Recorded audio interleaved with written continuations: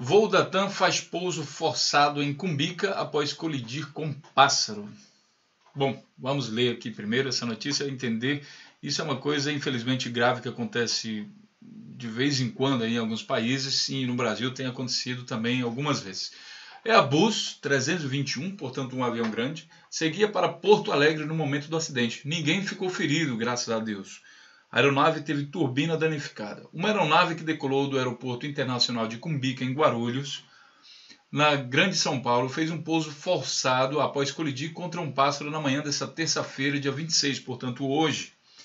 Em nota ao G1, nessa tarde, a assessoria de imprensa da TAN disse que esclarecer que o pouso não foi forçado, uma vez que a aeronave estava operando normalmente com sua aeronavegabilidade dentro da normalidade.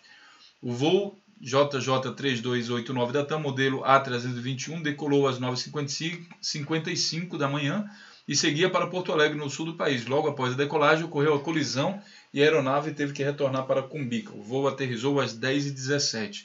Então foram alguns minutos aí de tensão, digamos aqui, uns 25 minutos. Os passageiros foram transferidos para outra aeronave, cuja decolagem ocorreu às 11h40 dessa manhã. De acordo com a administração do aeroporto, o pouso forçado não provocou alterações de demais voos.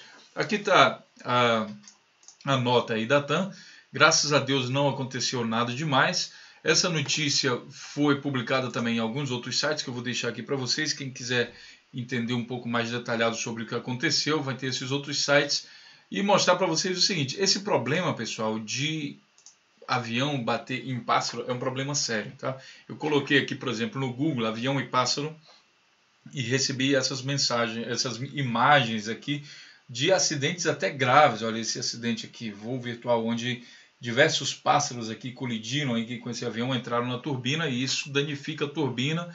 Pode também furar o avião, como está sendo mostrado aqui, né?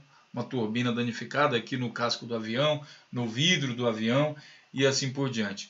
O caso talvez mais famoso disso é justamente esse aqui em Nova York, no rio Hudson. Tá? Eu também peguei aqui o, link onde explica isso. Caso você queira saber mais sobre esse tipo de incidente, aqui está descrito. Né? Eu vou passar esse link também para que você possa ver. Né? Nesse caso aqui do rio Hudson, o avião teve que fazer um pouso em cima aí do, do rio, né? como o próprio nome já diz. Infelizmente, nesse caso aí, num ato heróico, até inclusive tem algumas reportagens sobre esse caso, o piloto conseguiu, digamos assim, salvar todo mundo, porque um pouso na água também não é uma tarefa fácil, precisa ser muito bem coordenada para que o avião não se desintegre aí em cima da água. Né? Então, essa é a notícia, graças a Deus, dessa vez terminou bem e a gente se vê na próxima notícia. Um grande abraço.